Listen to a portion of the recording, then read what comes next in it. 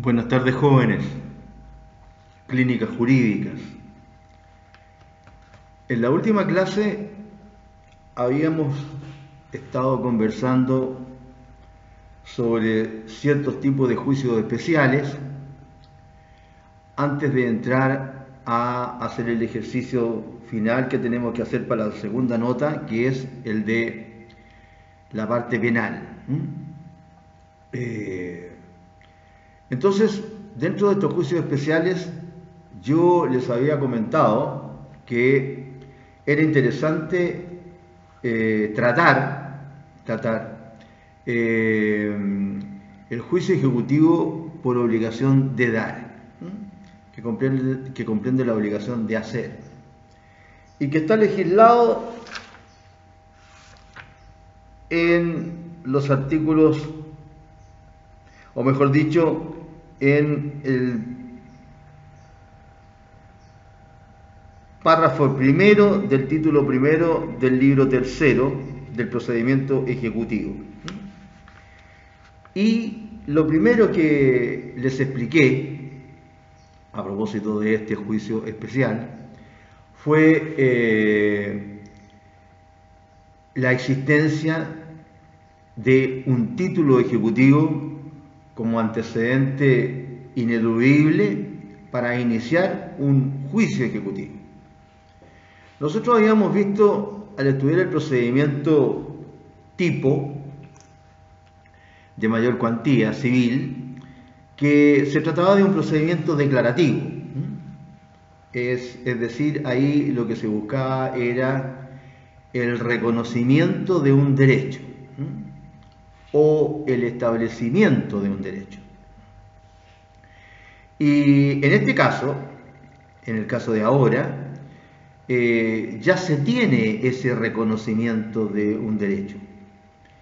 Y se tiene en virtud de un antecedente fidedigno, ¿no es cierto?, que da cuenta de este derecho. Es por eso que la ley es la que se encarga de eh, señalar cuáles son los títulos ejecutivos cuál es este antecedente fidedigno que necesariamente tiene que servir de base para la iniciación de un juicio ejecutivo. Eh, y entonces ahí lo estuvimos analizando, los diferentes títulos ejecutivos que señala el legislador. En el artículo 434, ¿no es cierto?, nos habla de una sentencia firme, bien sea definitiva o interlocutoria, una copia autorizada de escritura pública, un acta de avenimiento pasada ante el tribunal competente y autorizada por un ministro de fe o por dos testigos de actuación. En el caso del número 4 se habla de los instrumentos privados reconocidos judicialmente o mandados a tener por reconocidos. Eh, vimos las dos situaciones que se producían en este numeral cuarto del artículo 434 respecto de este reconocimiento judicial que en, una situación que es la del inciso segundo no es necesario este reconocimiento judicial cuando ya el antecedentes, llámese letra de cambio, pagaré o eh, cheque, haya sido autorizada su firma por un notario público o en los casos que corresponda por un oficial del registro civil. Vimos también que constituía un título ejecutivo de la confesión judicial, nosotros la estudiamos en el procedimiento anterior, la confesión judicial. Y en el número 6, cualquiera título al portador o nominativo legítimamente emitidos. Y por último, cualquier otro título eh, al que las leyes dan fuerza ejecutiva. Entonces, teníamos ya conversado ese antecedente previo.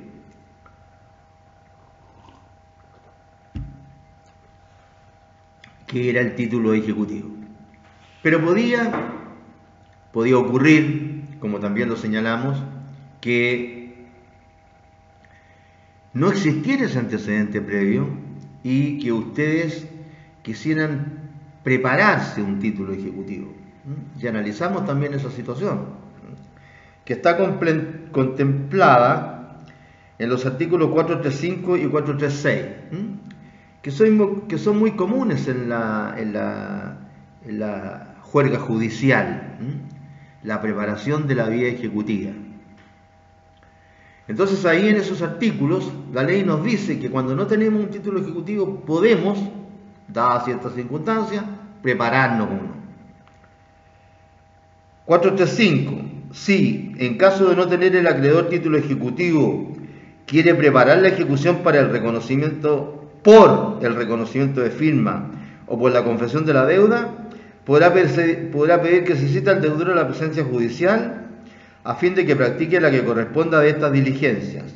Y si el citado no comparece o solo da respuestas evasivas, se dará por reconocida la firma o por confesada la deuda. Reconocida la firma, quedará preparada la ejecución aunque se niegue la deuda. Claro, a veces ocurre que un acreedor tiene un título ejecutivo incompleto. De repente tiene un instrumento privado en el que la parte, ¿no es cierto?, eh, contraria reconoce que debe algo, que debe algo. Y entonces lo que hace este acreedor es citar a la presencia judicial a este eventual deudor a fin de que éste reconozca su firma, si es que hay un documento con firma. Y una vez que esta firma es reconocida, se tiene también por confesada la deuda si es que ese documento firmado está dando cuenta de una deuda. Pero puede ocurrir también, y muchas veces así es, que el acreedor no tenga nada por escrito, ni siquiera un papel con una firma. Entonces, eh, solamente tiene la palabra del, eventual deudor. También puede en este caso citar a la presencia judicial eh, al, eventual deudor para que éste reconozca judicialmente que adeuda tal suma al acreedor. ¿Mm? Claro, ahí es más débil, ¿no es cierto?, la posesión del acreedor. Eh, como, son los tiempos que están corriendo, que están corriendo, eh, no es común que un deudor, si no hay ningún antecedente, como se llama, que, que establezca una obligación, es muy difícil que lo vaya a reconocer. Pero bueno, nunca se sabe, nunca se sabe. Pero ahora es más difícil que antes.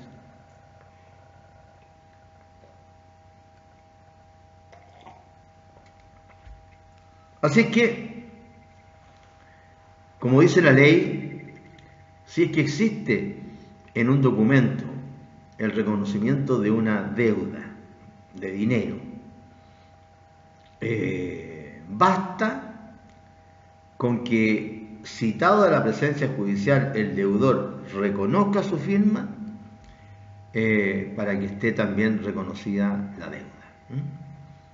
Claro, notificada esta demanda, ¿no es cierto?, de preparación de la vía ejecutiva, notificada legalmente, eh, el deudor podrá adoptar diferentes actitudes, ¿no es cierto? Actitudes, con. Eh, no ir, ir y no contestar, o ir, contestar y dar respuestas evasivas. En cualquiera de estos tres casos, ¿no es cierto? Entonces se tiene por preparada la vía ejecutiva y por eh, reconocida la deuda. Y con esta preparación de la vía ejecutiva se inicia el juicio ejecutivo. Se inicia el juicio ejecutivo.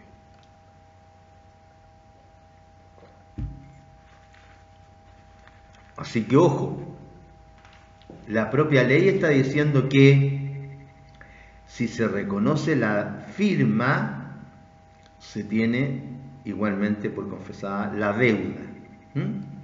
¿Por qué? Porque hay mucha gente que eh, eh, quiere explicar al juez eh, la circunstancia de por qué tiene la firma el documento, pero no debe la persona esa suma. No debe la persona suma. Ahora, las explicaciones que puede dar el deudor va a tener que darlas posteriormente basado en alguna de las excepciones que la ley le otorga. Así en, esta etapa de preparación de la vía ejecutiva, el deudor, o mejor dicho, al deudor solo le está permitido reconocer o no reconocer la firma y reconocer o no reconocer la deuda. ¿Mm? Eh, y así lo hacen los tribunales. Y no hay más explicaciones. Las otras explicaciones, repito, vienen a continuación. Cuando el acreedor que tiene preparada la vía ejecutiva porque el deudor reconoció la firma, o porque el deudor reconoció la deuda, o porque la reconoció ambas, o porque reconociendo la firma se tuvo también por reconocida la deuda, las explicaciones de que no procede eh, cobrar esa deuda va a tener que darlas el deudor después a través de las excepciones. A través de las excepciones. Ojo con esto para que no se vayan a equivocar ustedes cuando tengan que acompañar a un cliente de ustedes que eh, tiene que cumplir con esta situación ante el tribunal, porque citado legalmente tiene que concurrir. Ahora, si va a declarar o no va a declarar, o va a declarar y va a dar respuesta vacía, eso es otro cuento. Pero de que tiene que ir, tiene que ir. Bien. Entonces, tenemos iniciado el juicio ejecutivo, sea con un documento fidedigno, que es un título ejecutivo, o sea a través de esta gestión preparatoria de la ley ejecutiva. Iniciamos el juicio ejecutivo. Entonces, el acreedor, en alguna de estas dos situaciones, con su título ejecutivo, alguno de los siete títulos que, señala el artículo 434, o preparada la vía ejecutiva, de acuerdo con estas dos disposiciones que les acabo de leer, 435 y 436, va a confeccionar su demanda ejecutiva y la va a presentar, ¿no es cierto?, como corresponde a distribución de causas. Y, al igual que en el juicio ordinario, se le va a otorgar un número, eh, que es el certificado de nacimiento de esa causa, porque ese número lo va a mantener para todo el juicio, y, ¿no es cierto?, desde la Corte de Apelaciones se va a sortear para uno de los tres juzgados de letras que hay acá en Arica. Una vez que llegue la, la demanda con la resolución de la Corte ya al tribunal, ahí, ¿no es cierto?, va a ser el tribunal el que va a ordenar formalícese, formalícese la demanda. Y al igual que tratándose de la demanda ordinaria, hay un plazo para formalizar. Eh, y este plazo, y este plazo es un plazo corto, normalmente son tres días hábiles. Así que ustedes tienen que estar súper atentos, súper atentos, porque los tribunales tienen la característica de que cuando se cumplen estos plazos y el demandante no ha formalizado la demanda dentro del tercero día hábil, la archivan al tiro. La archivan al tiro. Entonces, una causita menos que tramitar. Así que ustedes en esos tres días lo primero que van a tener que hacer es eh, oficializar el patrocinio y el poder mejor dicho, constituir el patrocinio y el poder, y acompañar los documentos. Y acompañar los documentos. Ahora, con este procedimiento bizarro que, existe, mitad computacional y, mitad personal. Antes en el procedimiento, como lo establece el código, como lo establece el código, no como lo establece estas, estas eh, órdenes que ha venido dando la Corte Suprema en virtud de esa prerrogativa que tiene eh, jurisdiccional, jurisdiccional, económica y disciplinaria. En virtud de esta prerrogativa, la Corte Suprema dicta autos acordados, ¿no es cierto? Bien. Han sido muy criticados algunos de los autos acordados, porque en virtud de los autos acordados a veces la Corte Suprema ocupa cuestiones que son materia de ley, que son materia de ley, como el procedimiento, que es materia de ley. Entonces, ¿qué es lo que pasa? Antes de que empezara este sistemita mitad computacional, mitad personal, eh, ustedes sabían que había que ir con su cliente, ¿no es cierto?, hasta el tribunal y autorizar el patrocinio y el poder. O acompañar directamente, ¿no es cierto?, con los demás documentos. ¿Cuáles documentos? De partida, el título ejecutivo. Tenían que autorizar el patrocinio y el poder si es que ya tenían patrocinio y poder en virtud de una escritura pública, ¿no es cierto? Virtud de una escritura pública, eh, tenían que acompañar la escritura pública y la acompañaba junto con su eh, título, título ejecutivo dentro del tercero día. Y así formalizada la demanda ejecutiva. Era un procedimiento muy sencillo, un procedimiento muy sencillo. Simplemente se, sumaba el, escrito ese, se sumaba, formaliza demanda y acompaña documentos que indican que ya los había señalado en la demanda misma. Este era un escrito cortito que decía solamente eso. ¿Mm? Entonces, la individualización, etcétera, o sea, digo, encontrándome dentro del plazo, formalizo la demanda y acompaño, ahí acompañaba los documentos que ustedes tenían que acompañar, el título ejecutivo de todas maneras, y, y ¿cómo se llama? La eh, escritura pública de mandato judicial. Porque como el patrocinio basta con la firma, ¿no es cierto?, de las dos personas, eh, no era mayor problema. Pero ahora, ahora, en este pseudo procedimiento, ¿ah? en este pseudo procedimiento, eh, muchas veces, ustedes que son mejores para la computación que yo, muchas veces se cae el sistema. Entonces ustedes quieren escanear los documentos y no les reciben los documentos. Es como ahora para sacar un permiso en la comisaría virtual. Resulta que están todos ocupando la comisaría virtual y no le dan permiso a nadie porque uno no puede entrar los datos muchas veces.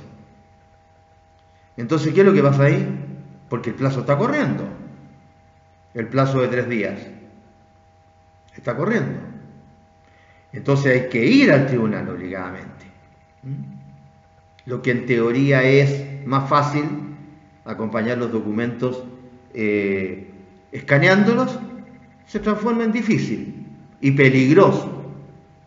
Porque si por X razón transcurre el plazo de tres días hábiles, desde que el juez ordenó, ¿no es cierto?, eh, la resolución accediendo, a tramitación la demanda ejecutiva, eh, usted formalícese, perdón, formalícese la demanda ejecutiva si transcurrió ese plazo, se acabó ese procedimiento y entonces tienen que retirar la demanda y empezar a hacer una demanda nueva. Lo cual no solamente pierde tiempo, sino que de partida, como uno siempre tiene el problema con su cliente, que es el que le encarga a uno, ¿no es cierto?, que le haga el trámite, eh, el cliente va a decir, bueno, pero usted cómo no se dio cuenta, etc. Algún cargo le hacen a la única persona que puede hacerle cargos, aunque no dependa de él lo que está pasando. ¿Y es, a quién es? A su abogado. A su abogado. Así que Bueno, tiene que arreglársela de alguna manera, no queda otra, porque cuando los tribunales hacen o no hacen algo, el tribunal es bien poco lo que le importa. Es el abogado, ¿no es cierto?, el que tiene que solucionar el problema. Y por eso es que nosotros somos personas que estamos para eso, para solucionar los problemas. Porque si una persona, porque si una persona nos contrata a nosotros, nos contrata para que le solucionemos un problema. No nos contratan a nosotros para que le contemos problemas al, que nos contrata y nos está pagando para que le solucionemos un problema. No. ¿Ah? Nos contrata para que le solucionemos un problema. Bien. Digamos entonces que ustedes formalizaron la demanda en tiempo y forma, constituyeron el patrocinio y el poder en tiempo y forma y acompañaron su título ejecutivo. ¿Mm? Y acompañaron su título ejecutivo. Entonces ahí el tribunal queda en condiciones de proveer la demanda ejecutiva. ¿Y qué es lo que va a resolver el juez normalmente? ¿Mm? Estas resoluciones las hace, ¿no es cierto?, un funcionario del tribunal que está para eso, o más funcionario del tribunal que está para eso. Son todas iguales, salvo por ahí que hubiera alguna novedad, ¿no es cierto?, o que se trate de procedimientos ejecutivos distintos, por obligación de eh, construir una obra material o por obligación de no hacer. Eh, acá en el mismo en el mismo código, pero en el título segundo, nosotros estamos hablando ahora del título primero del procedimiento del juicio ejecutivo en las obligaciones de dar. Porque en el título segundo se habla del procedimiento ejecutivo en las obligaciones de hacer y de no hacer. Y de no hacer. Entonces, el juez va a proveer normalmente por interpuesta la demanda ejecutiva, coma, eh, traslado, punto. A punto seguido, despache ese mandamiento de ejecución y embargo, punto. Traslado. Y si se como se acompañan siempre los documentos y se autoriza el poder, normalmente en virtud de esa acta que se levanta, ¿no cierto?, ante el secretario, que, le pregunta al gobernante si que sabe que le está dando poder a la persona y si, si el poder contiene las menciones que, ¿no cierto?, que requieren mención especial del artículo 7, entonces, entonces ya se había cumplido, ¿no cierto?, con el patrocinio y el poder, y entonces el juez a eso le coloca, ¿no es cierto?, téngase por acompañado los documentos, si son, si son documentos públicos con citación, si son documentos privados bajo apercibimiento, bajo apercibimiento. Y al segundo otro sí, téngase por constituido el, mandato judicial y el patrocinio. Y ahí estamos listos, ¿no es cierto?, para notificar la demanda ejecutiva. La demanda ejecutiva. Como les dije también, esta demanda ejecutiva, eh, esta demanda ejecutiva va a originar inmediatamente el otro cuaderno, el cuaderno de embargo. Es decir, en este juicio ejecutivo vamos a ir caminando, no con un cuaderno, como era el caso del juicio ordinario, en el que podían haber otros cuadernos, pero esos otros cuadernos en el juicio ordinario estaban constituidos o por las tercerías o por los incidentes. Esos eran los cuadernos separados que podían haber en el juicio ordinario. Mientras que en el juicio ejecutivo, que estamos, que estamos conociendo, estamos hablando de que hay un cuaderno ejecutivo y hay un cuaderno de embargo. ¿Por qué? Porque como ustedes ya, el acreedor, ya tiene un título ejecutivo, se parte de la base de que existe un antecedente indubitable que da cuenta de un derecho en beneficio del acreedor. del ejecutante.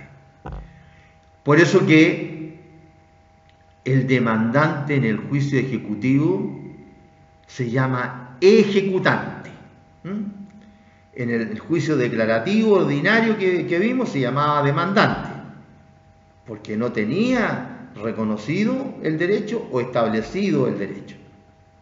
Acá se llama ejecutante, pues ya tiene reconocido o establecido su derecho. Entonces, estos dos cuadernos van en forma paralela, en forma paralela, tramitándose.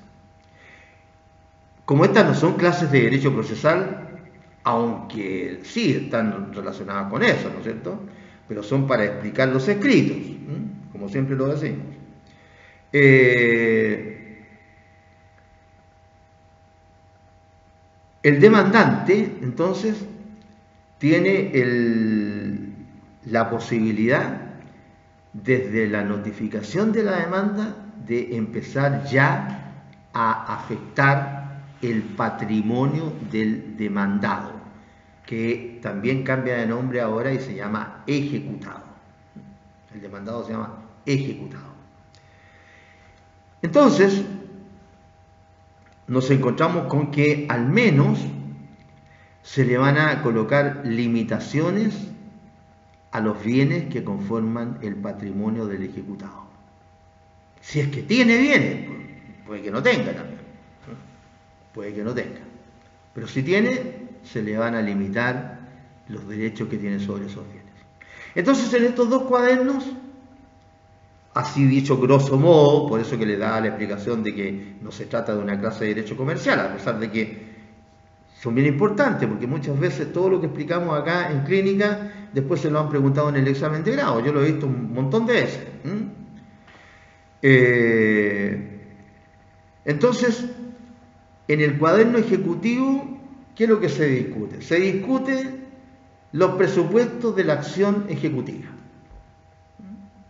Es como, si pudiéramos ejemplificar de alguna manera, es como discutir si se tiene o no se tiene derecho a la acción ejecutiva. Si está entablada dentro de plazo. Primero, si el título ejecutivo es, válido, es decir, es de los que señala la ley, tiene los presupuestos que señala la ley, etc. Y también se discuten las excepciones que se oponen a la demanda ejecutiva.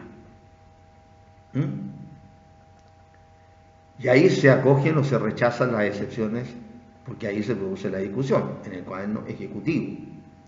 Mientras que en el cuaderno de embargo se va avanzando para que uno o más bienes del acreedor, ¿no es cierto?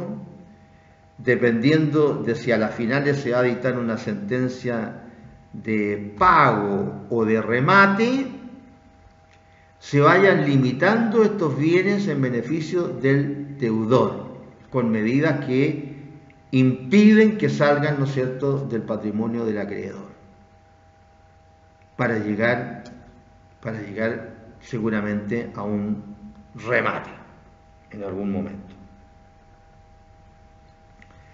Así que ahí vamos caminando con estos dos cuadernos. Entonces aquí ya el acreedor tiene la vida más complicada. Tiene la vida más complicada. Eh, eh, no anda tranquilito porque, porque los bienes le pueden quedar limitados.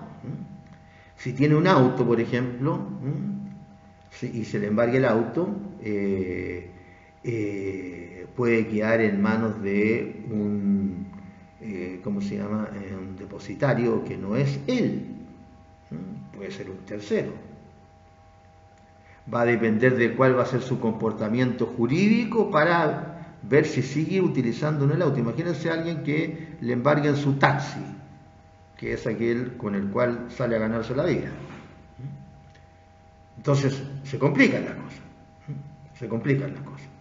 Si es una propiedad y se le embarga la propiedad inmueble, queda inhibido el acreedor de poder vender esa propiedad o de grabarla. Y a lo mejor necesitaba hacerlo.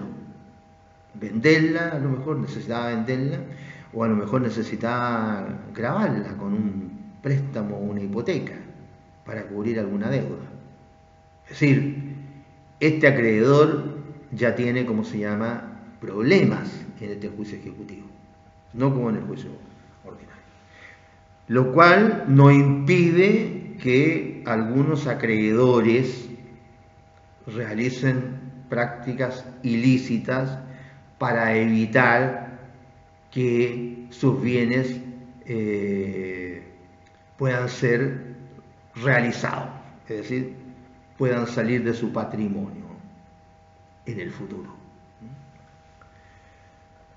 Se inventan muchas cosas, acreedores que, por ejemplo, el caso más común es de acreedores que, o con un, a través de un familiar o a través de un amigo, ¿no es cierto?, celebran un contrato simulado, un contrato simulado que está sancionado como delito penal, un tipo de estafa de las que establecen los artículos 467 y siguientes del Código Penal.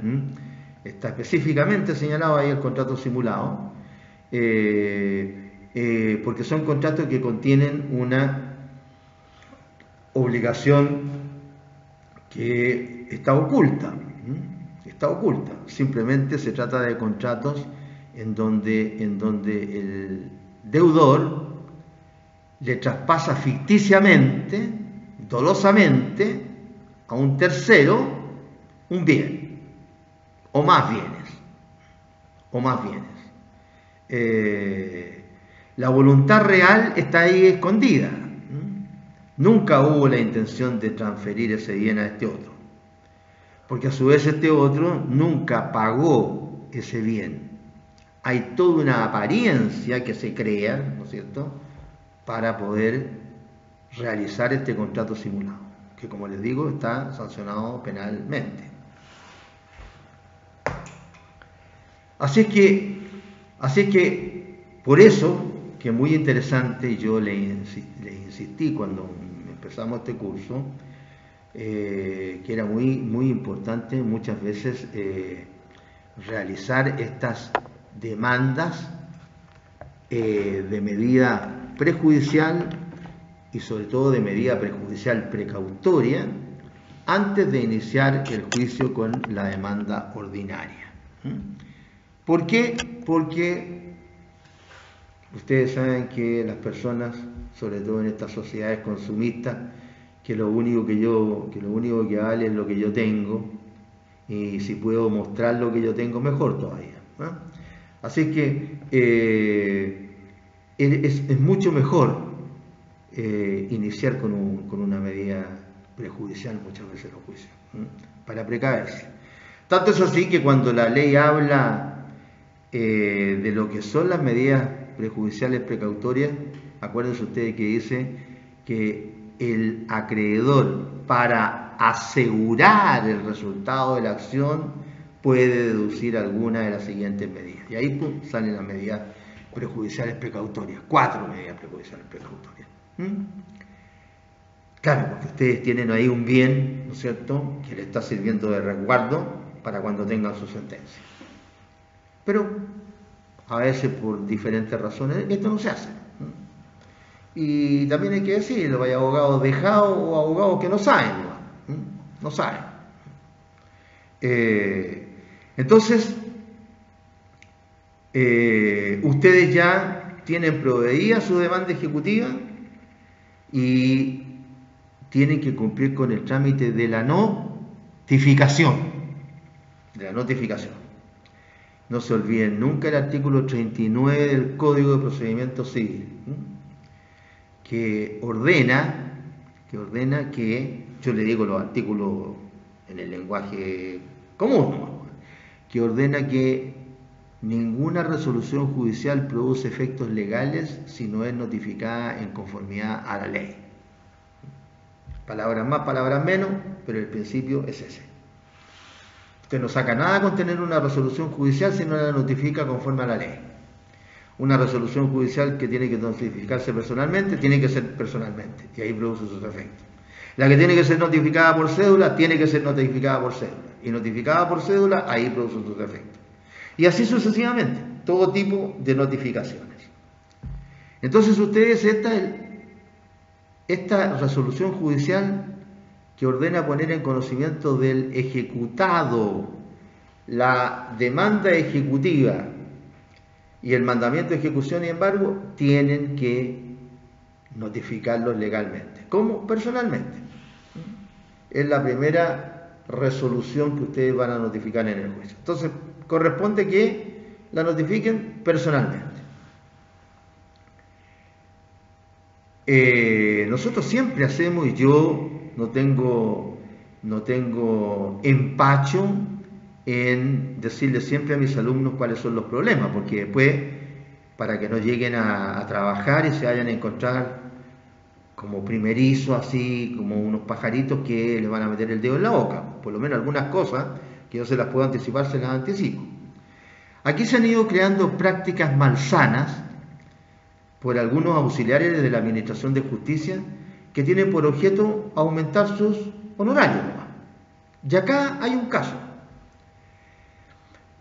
Cuando le notifican, cuando, cuando le ordenan a, a la parte hacer notificar una resolución personalmente, la parte tiene que ir donde el receptor judicial y decirle hay que notificar personalmente esta demanda ejecutiva en este caso y el mandamiento de ejecución y embargo. Entonces, ¿qué es lo que pasa? Que tiene que ir, tiene que ir el receptor judicial que está cobrando por la diligencia, tiene que ir a notificar a la persona. Tiene que ir a notificar a la persona. ¿Qué es lo que pasa muchas veces? Que o no va, o no va, que es lo más común, ¿ah? y como más o menos conoce el lugar, porque como viven notificando a las personas, se conocen todos los lugares.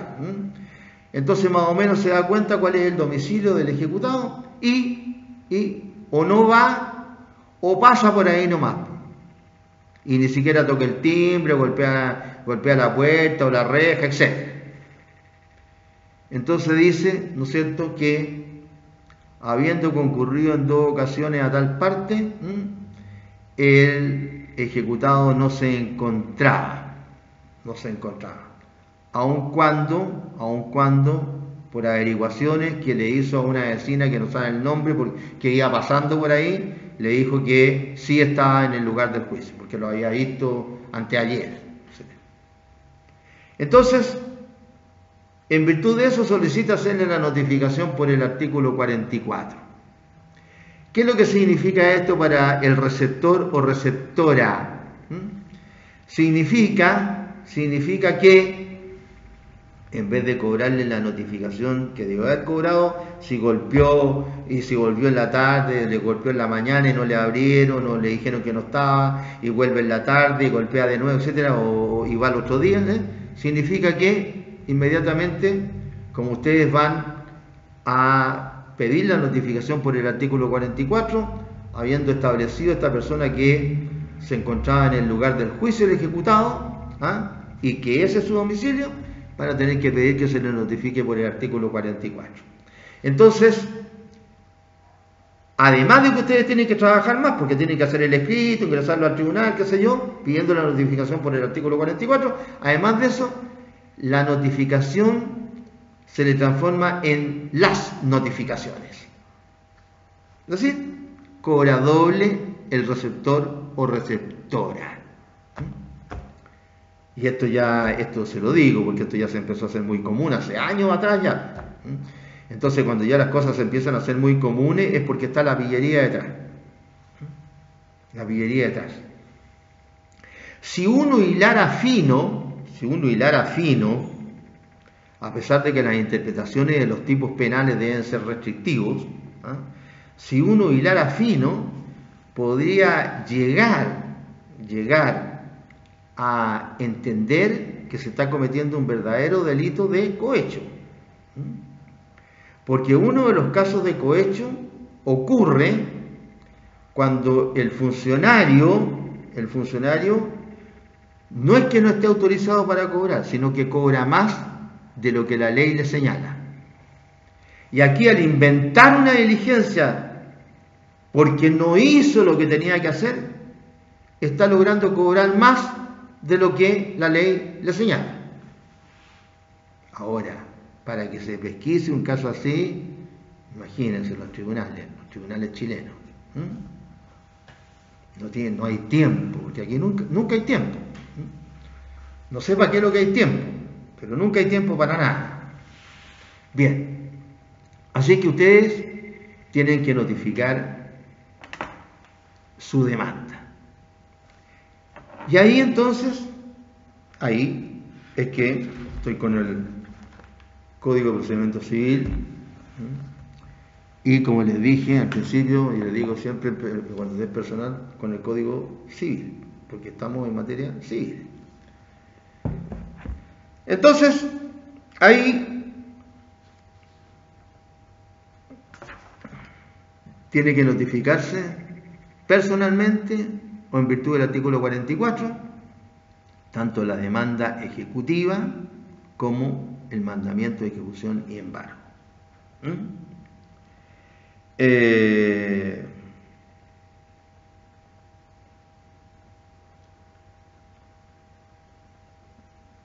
notificación personal, ustedes usted estudiaron la notificación personal o en virtud del artículo 44. Bien. Eh, lo único que le había dicho antes la ley al tribunal era de que debía examinar el título. El título. En el artículo 441. 441 le había dicho, el tribunal examinará el título y despachará o denegará la ejecución sin audiencia ni notificación del demandado, aun cuando se haya este apersonado en el juicio. En otras palabras, como en varias actuaciones, ¿no es cierto?, eh, del procedimiento, la ley deja a criterio del señor magistrado nomás el examen del título. No, no, deja que la parte participe. Así que eh, examina por su cuenta. Incluso en el mismo 441 dice, las gestiones que en tal caso haga el demandado no embarazarán en manera alguna el procedimiento ejecutivo y solo podrán ser estimadas por el tribunal como datos ilustrativos para apreciar la procedencia o improcedencia de la acción. Se está refiriendo a que el demandado no tiene injerencia en el examen del título por el juez, pues también puede ocurrirle al demandante. Dice, si denegado el mandamiento de ejecución se interpone apelación de este fallo, o sea, tampoco se escucha al demandante, lo hace el juez por su cuenta. ¿Mm? Este examen del título, artículo 441. ¿Mm? Eh, y, el tribunal denegará la ejecución si el título presentado tiene más de tres años contado desde que la obligación se haya hecho exigible, salvo que se compruebe la subsistencia de la acción ejecutiva por alguno de los medios que sirven para deducir esta acción, etc. ¿Mm? Es decir, yo, tribunal, examino el título sin que tenga nada que ver aquí ni el ejecutante ni el ejecutado. Yo lo examino por mí y ante mí. Y cualquier cosa que me digan a, mí el ejecutante o el ejecutado se va a tomar como dato ilustrativo para apreciar la procedencia y improcedencia de la acción. Dato ilustrativo. Dato ilustrativo. Estas normas se repiten porque se parte de la base de los criterios, ¿no es cierto? se supone que si un juez no tiene criterio, bueno, que lo tiene. Eh, ya lo habíamos visto cuando en el juicio ordinario habíamos hablado, ¿no es cierto?, de, de esa prueba que consistía en la inspección personal del tribunal, que queda absolutamente a disposición del juez, ¿no es cierto?, decretarla o no. Razón por la cual yo les señalaba en aquella oportunidad que era muy importante que ustedes dieran las razones eh, fundantes, importantes del por qué estaban pidiendo esta medida de inspección personal del tribunal, esta prueba. ¿ah? Que no era que ustedes quisieran molestar al tribunal, sacarlo de su silla de ahí del, del juzgado, sino que se trataba de una diligencia que si no se hacía, entonces podía causarle grave daño, ¿no es cierto?, a ustedes y en el fondo al juicio, a la administración de justicia. ¿Por qué? Porque no se iba a tener en cuenta una prueba que era importantísima. Bien, sí, hay muchas disposiciones que le entregan, ¿no es cierto?, la calificación de la procedencia o improcedencia de una prueba o, en este caso del examen del título al tribunal. Al tribunal.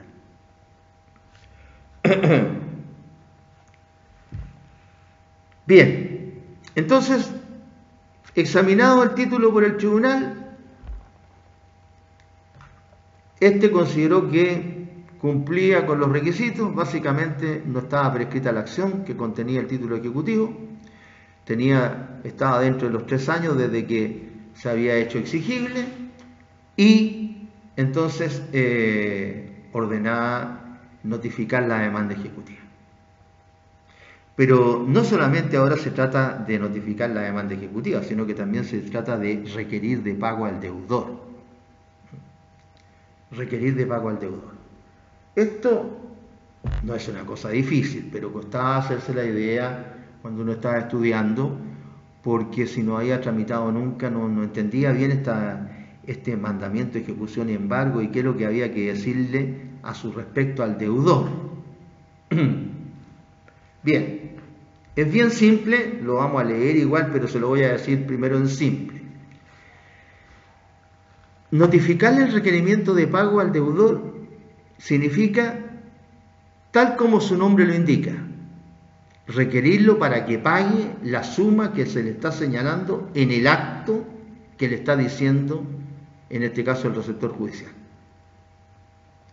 Para que, si no paga en ese acto, se le procedan a embargar bienes. Ese es el objeto del requerimiento de pago. Se le está diciendo, señor, usted tiene que pagar, por ejemplo, 1.857.300 pesos requerimiento de pago. La idea es que en ese momento el deudor debería tener el millón, un millón ochocientos cincuenta y tantos mil pesos. Y ahí se terminaría el juicio. Bueno, dice después más intereses y costa. Pero ahí quedaría paralizado el juicio hasta, pagar el capital. Bueno, normalmente la gente no tiene la plata en ese momento, por algo lo están ejecutando. Y generalmente las sumas son mayores. Así es que eh, nos encontramos con esa situación. Nos encontramos con esa situación. Y en ese momento entonces el eh, receptor le señala a la persona, bueno, como usted no ha procedido al pago de esa suma, voy a proceder a embargarle bienes. Y ahí el ejecutado, el deudor, tiene dos opciones. Oponerse o no oponerse al embargo. Si no se opone al embargo, el receptor le va a pedir permiso iba a entrar a su casa, si es que no tiene afuera el auto, etc. Eh, y tratándose de un vehículo, como hay que inscribirlo en el registro de vehículos motorizados, va a haber que tomarle la patente, ir a sacar el certificado para saber si, es del, del, deudor, el auto o lo que sea, eh, vehículo motorizado. Entonces normalmente se entra a la casa y se empiezan a embargar las cosas que no son o que no tienen el carácter de inembargable. La ley señala una lista de los bienes inembargables. En el 445 dice, no son embargables. Ya hay una lista más o menos acá. Pues esta lista ha sido bastante larga siempre. Tiene 18 numerales. 18 numerales. ¿eh? Los sueldos, las remuneraciones, las pensiones, las rentas periódicas, los fondos que gozan de este beneficio, la póliza de seguro, la suma, el, bien raíz, ese, el bien raíz que el deudor ocupa con su familia, eh, los libros relativos a la producción del deudor, las máquinas e instrumentos, los uniformes y equipos de los militares según su arma y grado, hasta eso, hasta eso. Los objetos indispensables al ejercicio personal del arte oficio de los artistas, que sé o sea, si se trata de un escultor no le pueden embargar el cincel, por ejemplo, ni el martillo con el que le pega el cincel para hacer el, a rodar, ¿no es cierto?, en la escultura en la, la, piedra, no puede. Los utensilios caseros y de cocina, la propiedad de los objetos del deudor posee judicialmente, los derechos, bla, bla, bla, bla. O sea, son tantas las excepciones que prácticamente se transforman en la regla general. Como el vino, como el reclame, mejor dicho, típico chileno. Típico chileno. Porque las excepciones no son dos o tres, son 18. ¿Mm? Son 18. Si es que no hay ahí, por ahí alguna excepción especial que no, no conozco. Entonces, en el 443 dice la ley las menciones que debe contener el mandamiento de ejecución y embargo. El mandamiento de ejecución contendrá, uno, la orden de requerir de pago al deudor.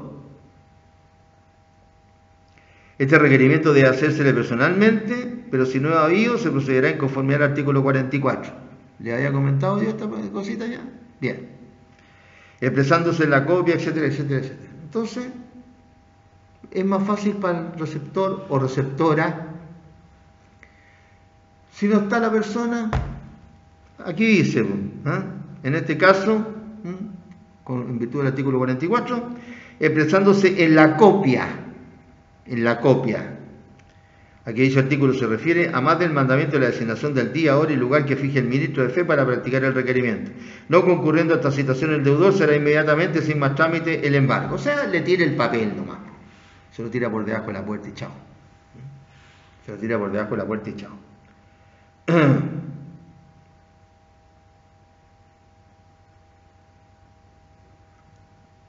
La segunda mención del mandamiento de ejecución embargo es la de embargar bienes del deudor en cantidad suficiente para cubrir la deuda con sus intereses y las costas si no paga en el acto.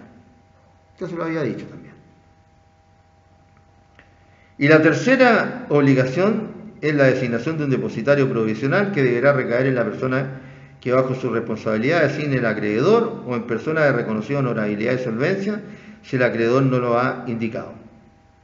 El acreedor podrá designar como depositario al mismo deudor o pedir que no se le designe, que no se designe depositario.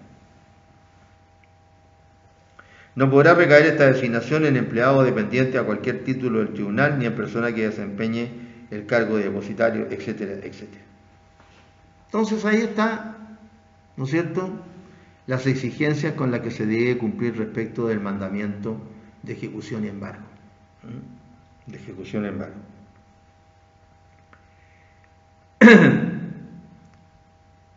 Entonces ya tenemos nuestra, nuestra demanda, ¿no es cierto?, nuestra demanda ejecutiva y nuestro mandamiento de ejecución y embargo notificados.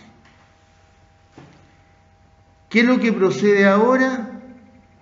Ahora procede, ¿no es cierto?, dentro del plazo que señala la ley, como, como, como es la actitud del, del ejecutado en este caso, no hacer nada, o lo que es, lo que es normalmente, oponer excepciones a la ejecución. El plazo el plazo que tiene normalmente el deudor para deducir oposición va a variar del lugar en el que se produzca el requerimiento. La regla general está en el artículo 459. Si el deudor es requerido de pago en el lugar del asiento del tribunal, que es lo normal, pues, ¿no es cierto? Ustedes demandan a una persona canarica la notifican y le hacen el requerimiento en Arica. Entonces, este deudor tiene, como dice la ley, cuatro días útiles para oponerse a la ejecución. Ese es el plazo normal. Una demanda en Arica y las partes se encuentran en Arica. Este término se ampliará con cuatro días si el requerimiento se hace dentro del territorio jurisdiccional y que se ha promovido el juicio, pero fuera de la comuna del asiento del tribunal. Y el plazo va variando en el artículo siguiente, si el requerimiento se hace en territorio jurisdiccional de otro tribunal de la República, la oposición podrá presentarse ante el tribunal que haya ordenado cumplir el exhorto, etcétera, etcétera, etcétera. Las normas generales que ustedes ya han estudiado respecto del juicio ordinario, ¿no es cierto? Estas ampliaciones que hay para contestar, para contestar. En este, en este caso se, se denomina oponerse a la acción ejecutiva.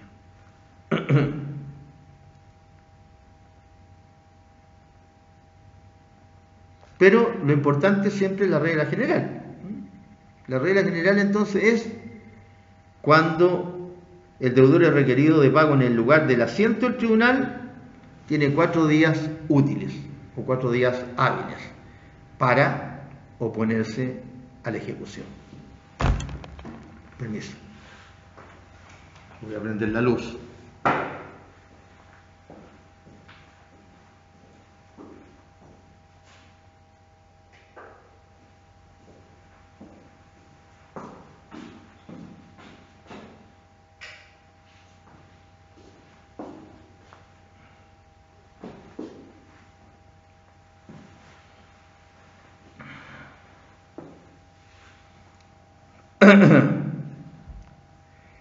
Y en esos cuatro días hábiles entonces nos oponemos a la ejecución.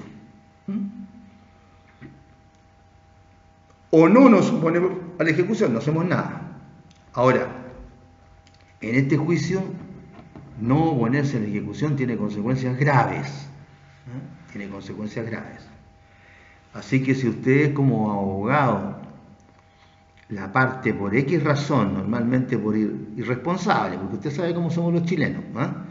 nos demoramos para todo, llegamos siempre atrasados, etc. Entonces, eh, a lo mejor la persona llegó justo el cuarto día que tenían ustedes para oponerse a la ejecución. El plazo se vence a las 12 de la noche, ¿no es cierto?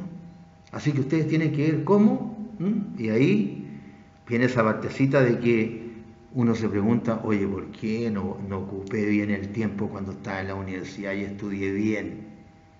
O estudié, en vez de andar flojeando. Porque no hay tiempo cuando uno está trabajando, muchas veces. Porque las circunstancias hacen que no haya tiempo. Entonces ahí tienen que ustedes, con lo que ustedes saben, oponerse a la ejecución y o mejor dicho, E, ingresar su escrito de oposición a la ejecución antes de las 12 de la noche. Un minuto para las 12. ¿Mm? Un minuto para las 12. Ahora con el sistema computacional, puede que no, cierto, no, no, no lo reciba porque tiene mucha carga el sistema, no sé, ese es otro cuento. Pero ustedes tienen que oponerse dentro de plazo que señala la ley. ¿Eh? El plazo que señala la ley porque si no opera el artículo 472. Anoten este artículo porque es muy importante. 472. ¿Qué dice? Si no se oponen excepciones, se omitirá la sentencia y bastará el mandamiento de ejecución para que el acreedor pueda perseguir la realización de los bienes embargados y el pago de conformidad a la disposición del procedimiento de apremio.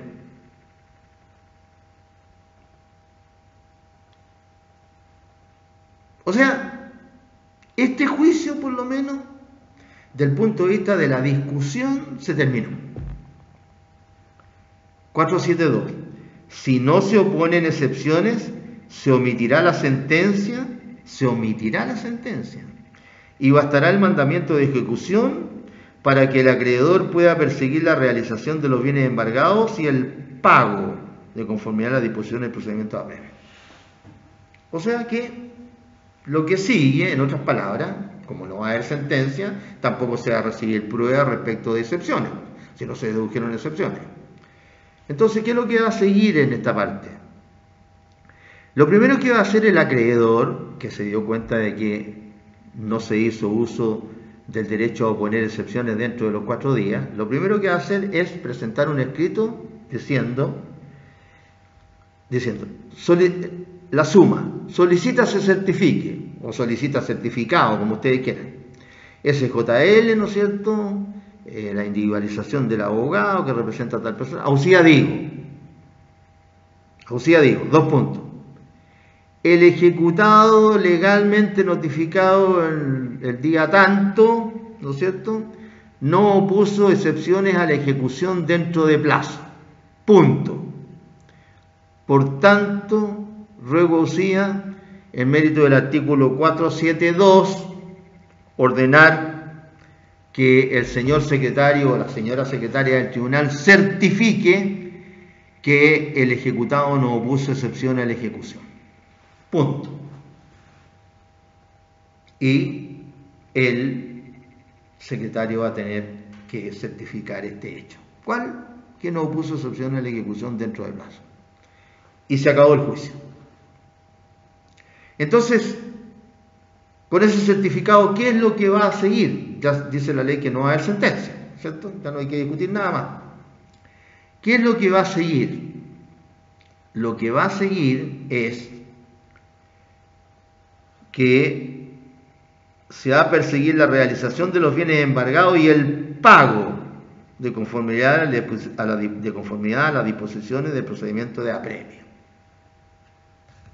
Es decir, Supónganse ustedes que ustedes les están debiendo un millón y tanto, dos millones y tanto, y lograron embargar un vehículo que vale más de lo que les están debiendo a ustedes. El millón y tanto más intereses y costas. Entonces, lo que va a ir ocurriendo va a ser en el procedimiento de apremio, el procedimiento ejecutivo, el juicio ejecutivo, el cuaderno, va a quedar paralizado y se va a ir, ¿no es cierto?, eh, avanzando en el procedimiento de embargo. Ya está embargado el bien, entonces si se trata de un bien mueble, se va a tener que entregar la especie a un martillero para que la remate. Y si se trata de un bien inmueble, va a haber que presentar las bases para el remate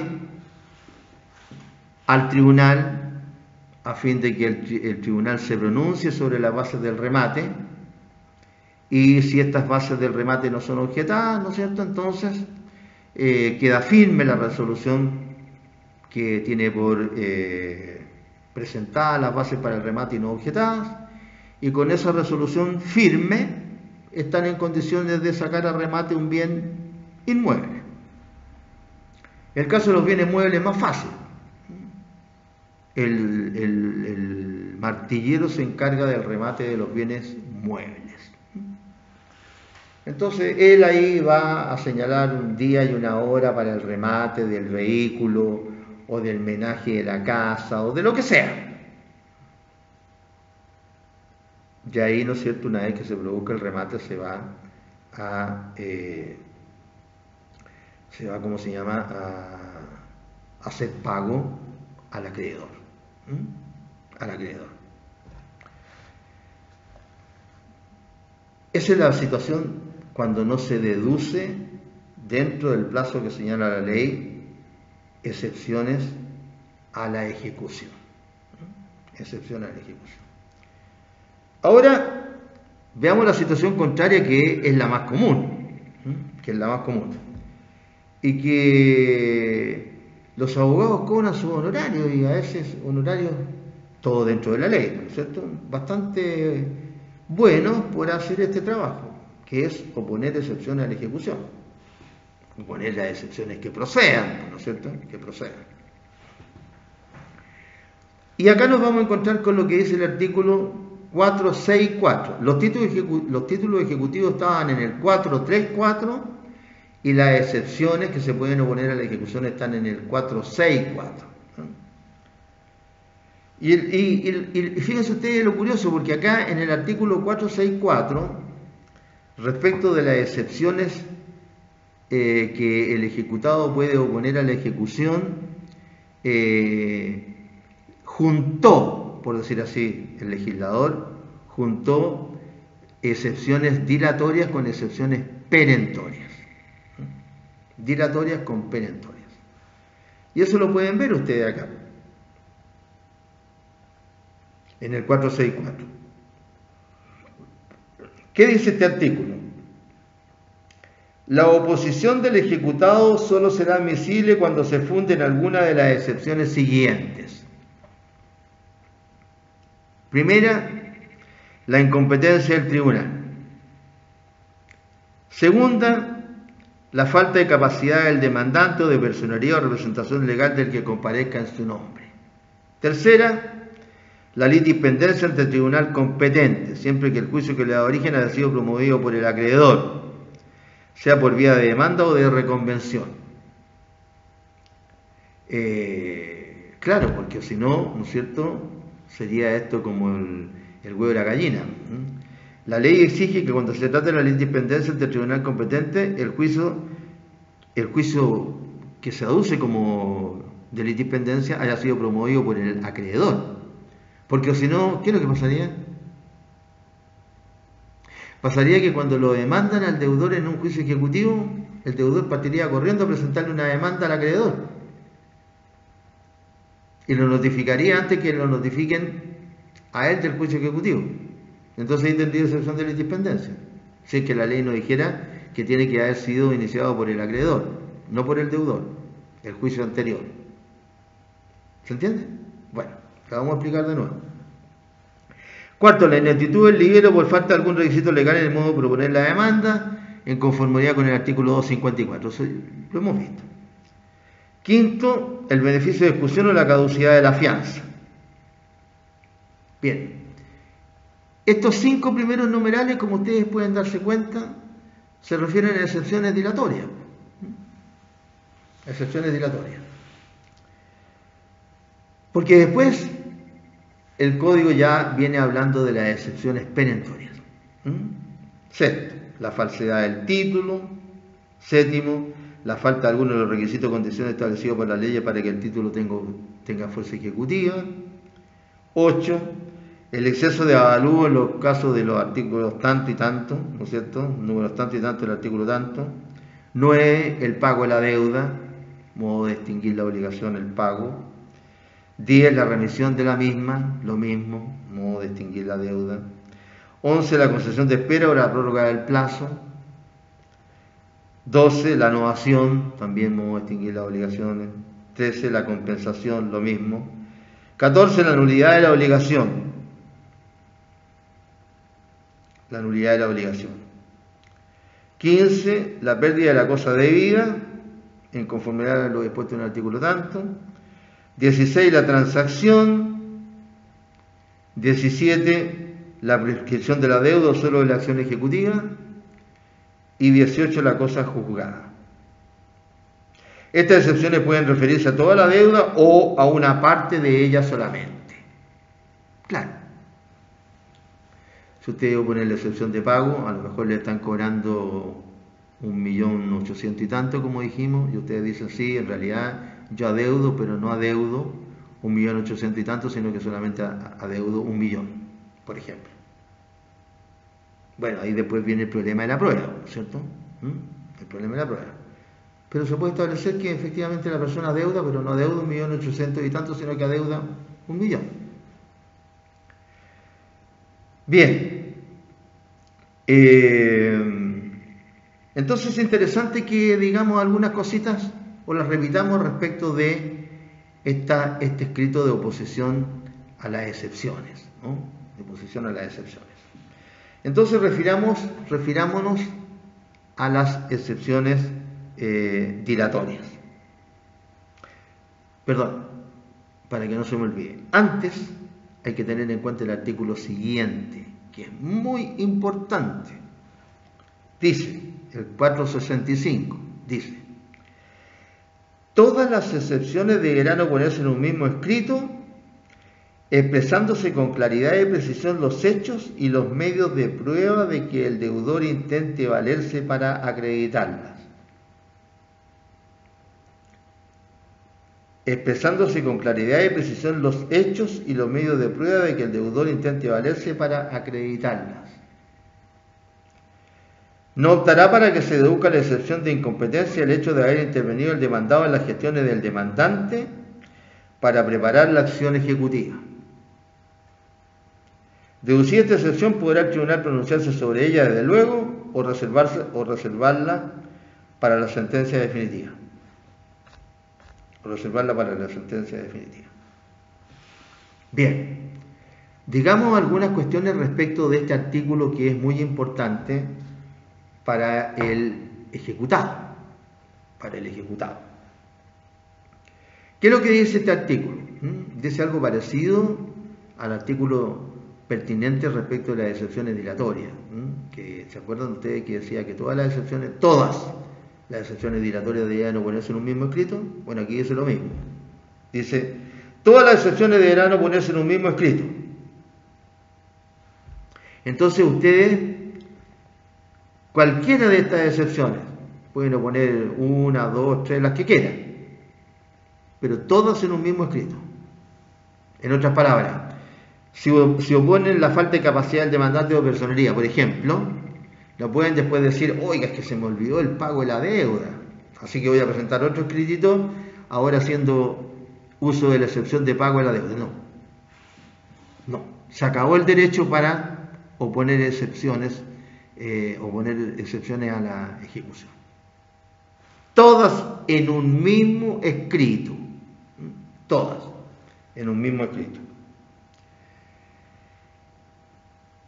Eh, segundo, ya, tenemos todas en un mismo escrito, ¿no es cierto? Cualesquiera que sean, una, dos o varias, todas. Ya. Otra exigencia, expresándose con claridad y precisión, claridad y precisión. Los hechos y los medios de prueba que el deudor intente valerse para acreditar los hechos y los medios de prueba de que el deudor intente valerse para acreditarlas. Entonces, ustedes, por ejemplo, oponen la excepción de eh, transacción, por ejemplo. Tienen que señalar con claridad y precisión los hechos. Mire, fíjense que efectivamente yo le debí a esta persona la suma de tanto y tanto porque celebré con ella un préstamo, ¿no es cierto? Un préstamo, y yo debía pagárselo en tal forma, en tal tiempo, y no pude hacerlo porque se enfermó un familiar mío, etcétera, etcétera, etcétera. ¿Mm? ¿Mm? Ya. Pero, pero,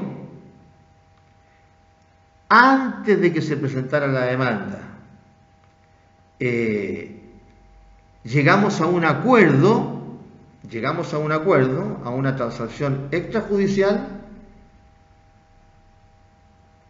que yo cumplí antes de que se me notificara la demanda. Antes de que se me notificara la demanda. Así que ahí tienen los hechos claritos de en qué consiste, en este caso, la transacción extrajudicial. Después van a tener que probarla, a lo mejor la tiene por escrito, etc. Eso es otro cuento. Pero en el escrito de oposición de excepciones tiene que señalar con claridad y precisión los hechos en que funda la demanda. O si opone la excepción de prescripción de la deuda o solo de la acción ejecutiva, tiene que decirlo. Oiga, mire, la acción ejecutiva, ¿no es cierto?, está prescrita porque han pasado más de tres años desde que esta se hizo exigible. Listo. Los hechos. Pero también, pero también hay que señalar los medios de prueba de que el deudor intente valerse para acreditarla. ¿Mm? ¿Cuál es la fórmula general que señalan en un otro sí los abogados que señalamos? ¿Ah? Para no estar uno por uno, mire, en este caso, en respecto a esta excepción, voy a hacer uso de testigos, de confesión, de unos documentos que tengo. No. ¿Qué es lo que se dice normalmente? Una sola fórmula. Para acreditar las excepciones que se oponen a la ejecución, haré uso de todos los medios de prueba que me franquea la ley, tales como, y lo señalan todos, instrumentos, testigos, confesión, inspección personal del tribunal, informe de perito y presunciones. Listo. Y así cubren todo. Porque es una exigencia. Es una exigencia. Eh, este es un precepto imperativo, así que si alguien dice, oiga, este no señaló los hechos, se puede quedar sin prueba y sin excepciones, por ende. Eh, después el mismo 465 ya se sigue, tenemos que todo hacer un mismo escrito y todo tiene que señalar los hechos claramente, ¿no es cierto? Eh, y precisión en que se funda cada excepción y los medios de prueba para acreditarlas. ¿ah? Ya. Después el código se preocupa solo de una de las excepciones. No optará para que se deduzca la excepción de incompetencia. La incompetencia, claro, porque si se declara incompetente el juez, ¿no es cierto?, ¿para qué va a seguir conociendo el asunto? ¿Para qué se va a pronunciar sobre las otras excepciones? Por eso que dice la ley, no optará para que se deduzca la excepción de incompetencia el hecho de haber intervenido el demandado en las gestiones del demandante para preparar la acción ejecutiva. Claro, a lo mejor el demandado cuando lo notificaron de la preparación de la vía ejecutiva, si hubiera sido el caso, ya hizo alusión a las excepciones. Entonces lo que le están diciendo es que no optará para que se deduzca la excepción de incompetencia el hecho de haber intervenido el demandado en la gestión del demandante para preparar la vía ejecutiva. O sea, el demandado igual puede oponer nuevamente su excepción de incompetencia, aunque ya lo haya hecho en la preparación de la vía ejecutiva y a lo mejor hasta le habían dicho que no. Bien. Bien. Y por último, deducir esta excepción de incompetencia, podrá el tribunal pronunciarse sobre ella desde luego o reservarla para la sentencia definitiva. Vamos a quedar acá jóvenes y seguimos en la próxima clase.